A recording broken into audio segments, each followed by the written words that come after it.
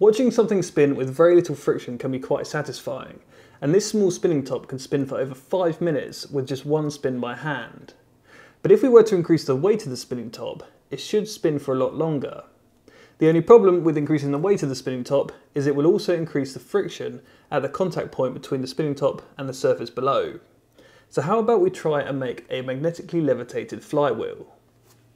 Permanent magnets have two poles, which are usually labelled north and south, and when a north pole is positioned close to a south pole, they are both attracted together. But when the magnets are arranged with matching poles near one another, the magnets are pushed apart, and it's this force that we can use to levitate the flywheel. To support the magnets, a frame can be built using these aluminium extrusions, as they're easily attached together with small brackets, almost like a Meccano kit. I can then mount the magnets to these brackets and bolt them down to the frame. For the magnets to levitate an axle, the magnets must be arranged with opposing poles like I mentioned earlier. But if you've ever tried to levitate a magnet on top of another, you'll know it's pretty much impossible to balance. That's because if the levitating magnet is offset by the smallest amount, not only do the repelling poles want to push it further to the left, but these two opposing poles are now pulling each other together, and will continue to do so until they both collide. However, if we give the shaft a small bias towards the left, we can constrain it with a smooth plate to prevent it travelling any further. This essentially turns the axle into a horizontal spinning top,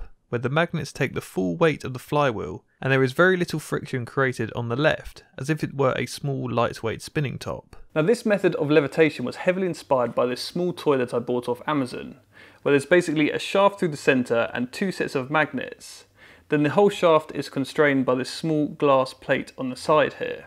But if I were to remove this glass plate, like so, and then try and balance it, it just falls straight down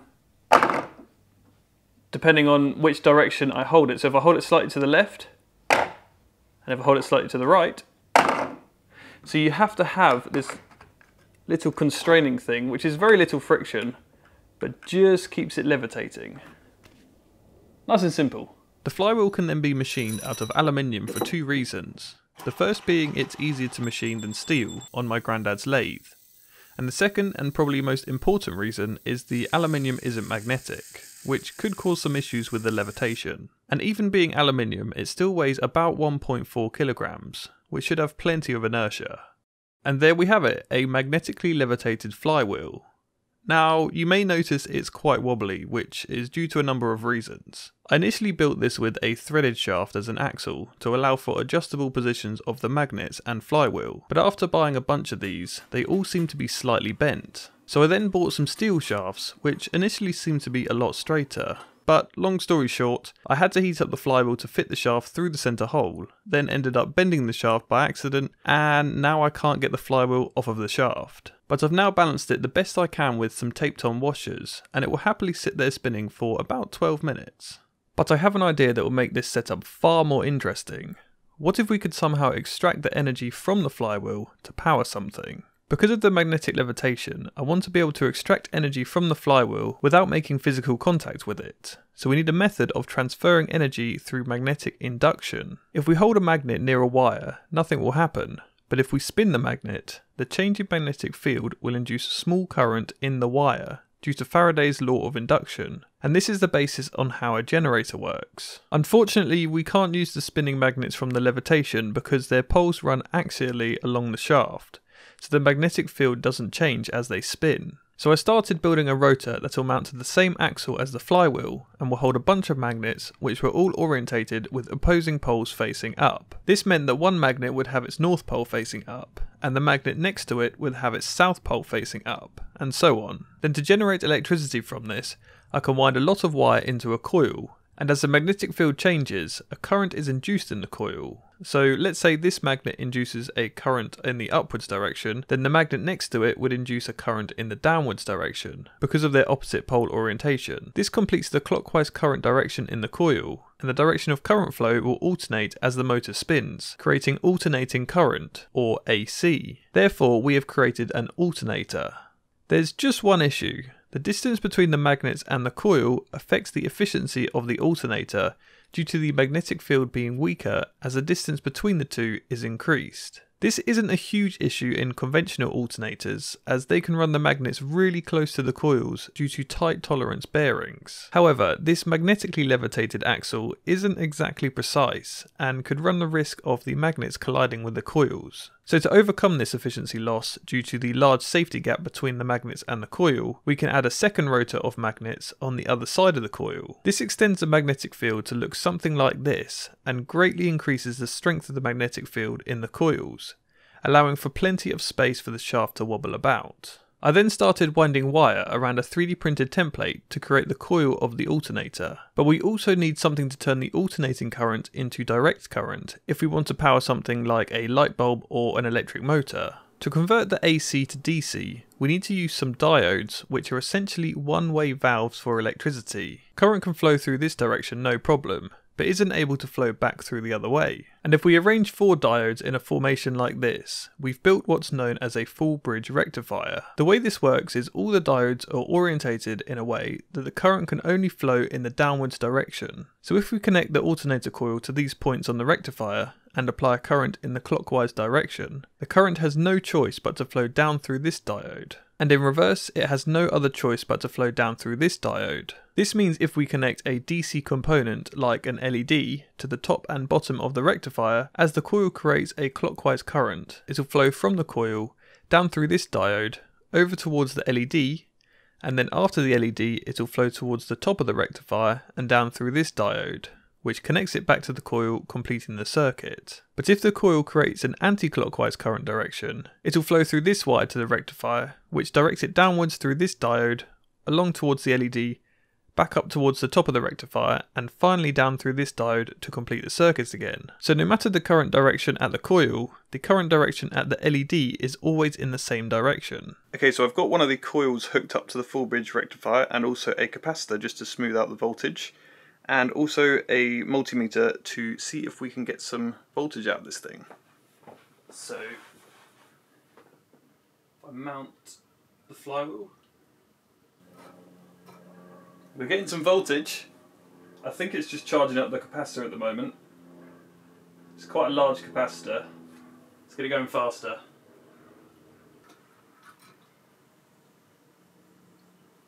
Point seven of a volt. creating electricity from a magnetically levitated flywheel. 0.7 of a volt isn't going to power anything interesting, so I wound four more coils and connected them in series, which should multiply the voltage by 4. Then with some assistance from an electric drill, it can generate quite a few more volts.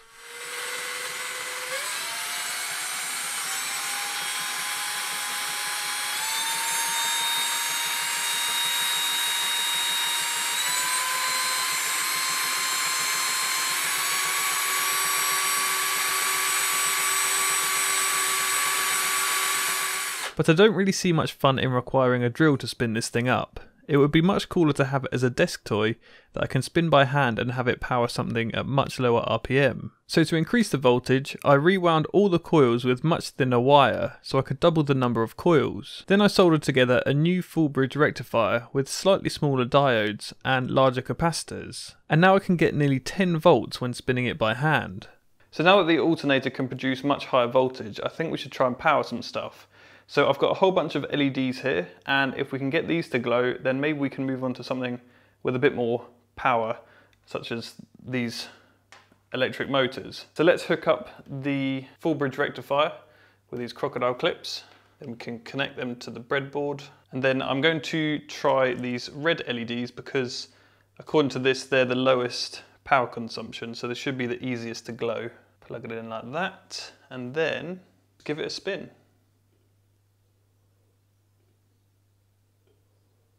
Can you see that on the camera? It's probably quite dim. That glows at really low RPM on the flywheel. Let's try plugging in some more. There's two LEDs, three LEDs, four. They're probably too dim for the camera now, so I'll spin it up to speed a bit more.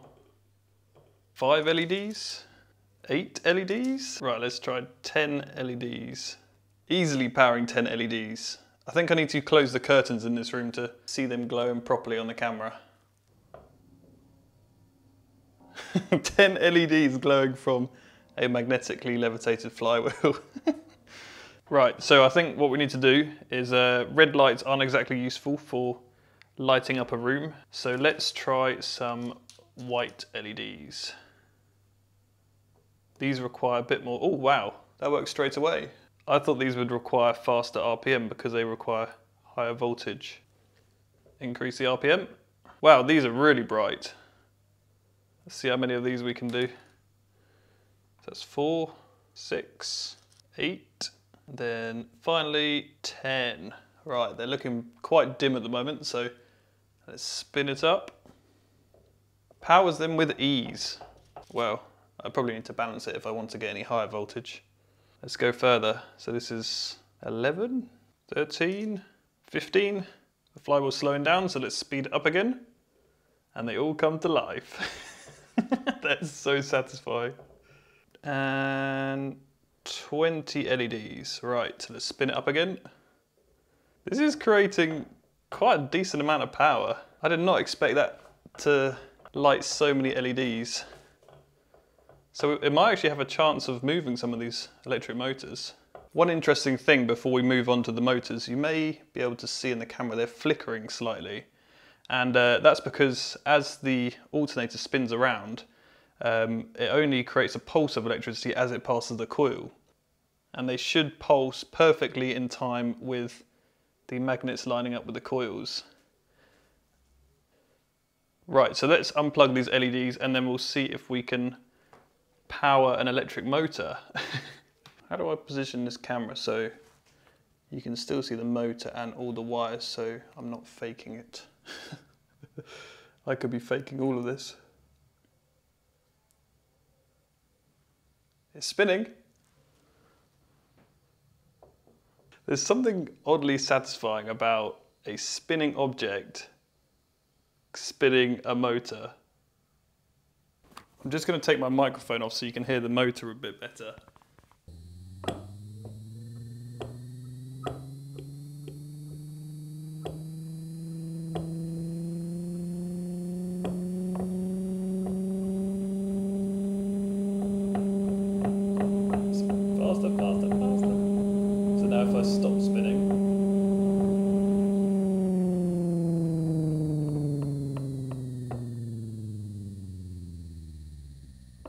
Okay, I reckon it's going to struggle with the slightly larger motor. Let's get this going fast. Double-handed spin. I'm going to rest the setup on top of these mats because I don't think I've made the frame quite square so it wobbles. There we go, much better. Nothing. I think the only way to get this one to spin is to possibly charge up the capacitors uh, beforehand and then plug it in. So if we get it spinning, charge up the capacitors. There we go. it's like an electronic gearbox, sort of. You have to check this out. I have the original flywheel alternator setup. And if I move backwards a tiny bit, we have an augmented reality generated version of it. This is done without the need for an Android or iOS app but instead using a website called Thangs, who are the sponsor of this video. Thangs is the fastest growing 3D community with over 3 million available models for you to search, store and collaborate on. Let's say you need to join two of these aluminium extrusions together. Just a quick search will find you many models to choose from. Then you can download the one you want and print it out. Because why waste time designing your own bracket when someone else has already designed one for you? Or if you have started designing a part and have run out of time to finish it, you can use their geometric search to find models that are similar to yours. You can also use Thangs to create private projects with your friends to share great ideas and collaborate. Being able to view projects in augmented reality without having to download and import them into your CAD software makes it so much easier to know what you're looking at. So go check out Thangs by clicking my link in the description below and start exploring today. Big thanks to Thangs for sponsoring this video and if you enjoyed this video it'd be great if you could leave a thumbs up down below. If you're new to my channel and want to see other projects similar to this, then please click subscribe down below. And a massive thank you to all of my supporters over on patreon.com for making these projects possible. I honestly couldn't do these projects without your support, so thanks once again. Thanks once again for watching, and I'll see you in the next video. Goodbye.